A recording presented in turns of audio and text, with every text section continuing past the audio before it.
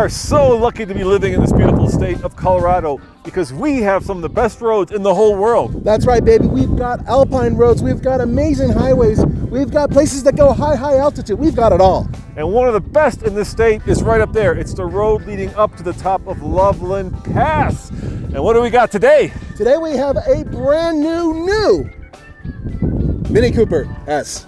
And we've got the Loveland Pass Road, so let's take it on a Colorado Rocky Mountain ride. That's coming up next.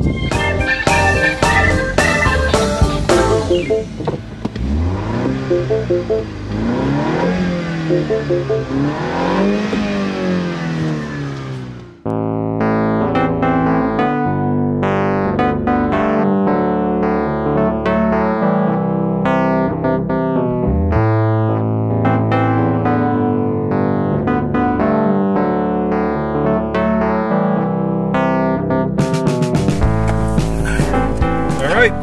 Loveland Pass beckons, Nathan. Yeah, sorry about the weird angle, folks.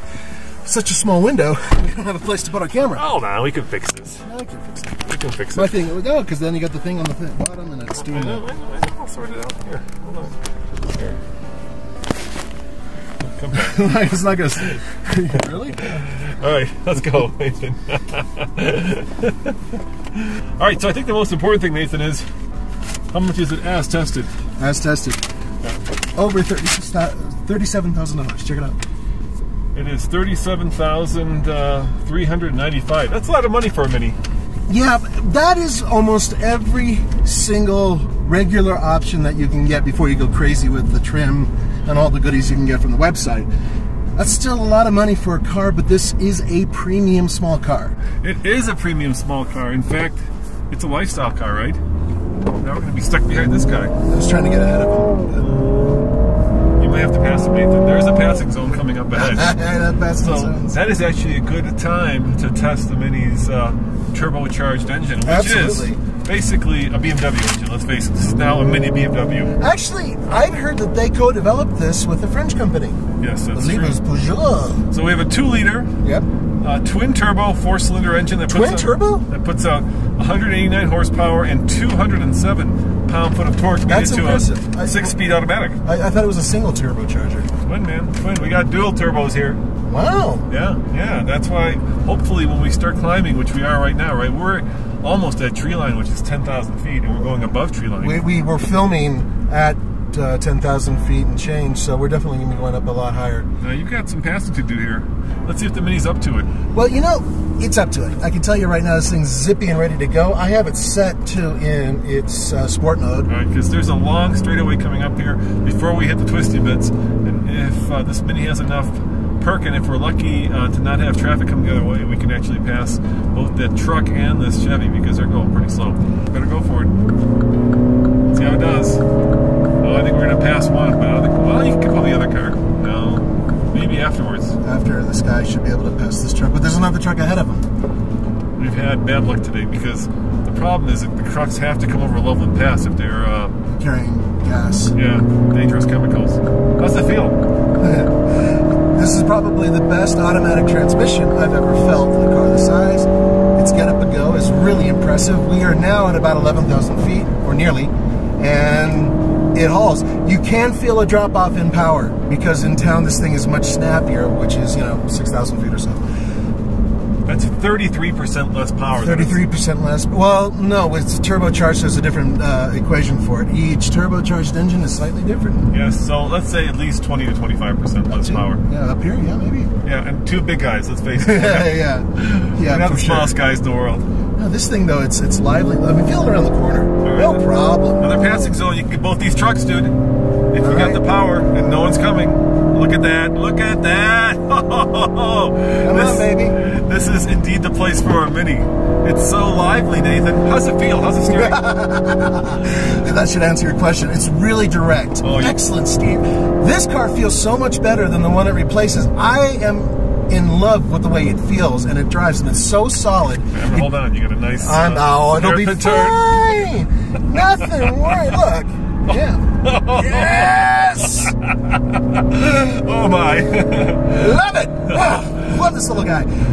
This is the best part of this car is the fact that on the road, I really do feel like I know what's going on with the tires. I know what's going on with the angle of attack, and when I'm going through a corner, it's just how it feels in general. And look, we're way up here. We're now above tree line, well Oh, yeah. above tree line.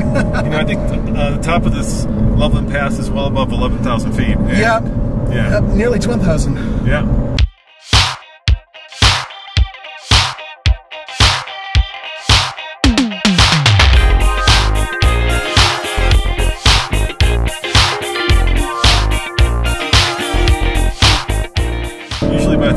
Here, the cars certainly lose a lot of power. Oh, at this point, the only reason it's it's slowing down is because I want to slow down. This is an area where people park and Yeah, walk around really- the mountain area. I don't want to fly through here. No, no. And let's uh, take it down the pass because we're on the top of the pass right here. Now we're gonna Mm-hmm. go over it, and let's uh, let's take it down and see how it does. See how the brakes do. Oh yeah, Let's give them a, let's give them a full Colorado Rocky Mountain ride. yeah. This is Elevation 11,990 feet. Yeah, pretty much. So so pretty yeah. That's Um, almost 4,000 meters, guys, above sea level. That's that's a lot. and now we go down. And by the way, they've just recently paved this section, and it's like a smooth ribbon of justice.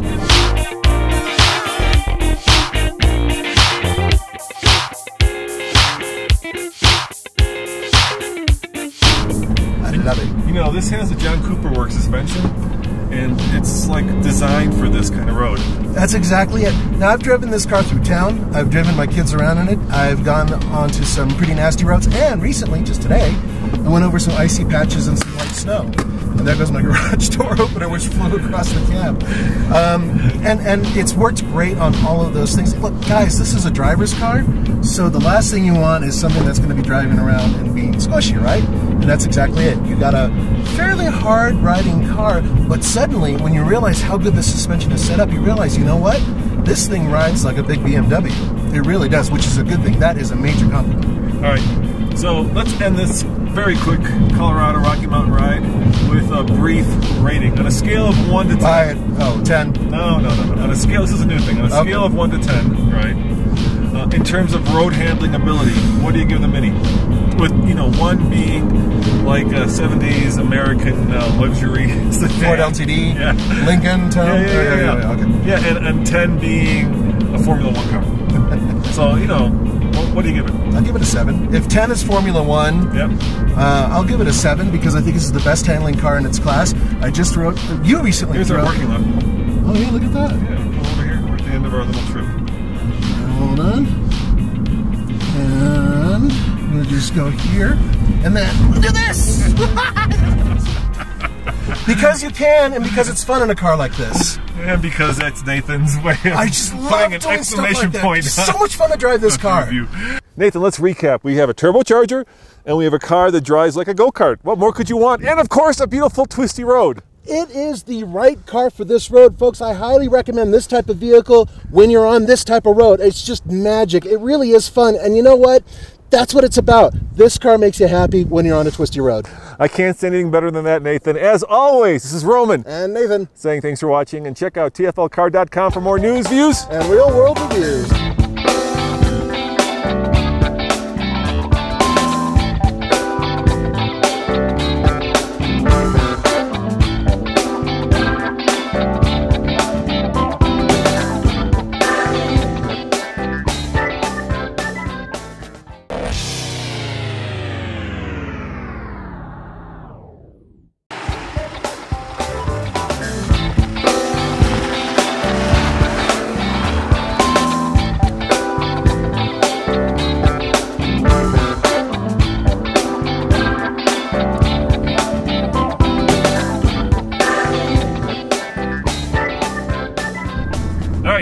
Editorial correction, guys.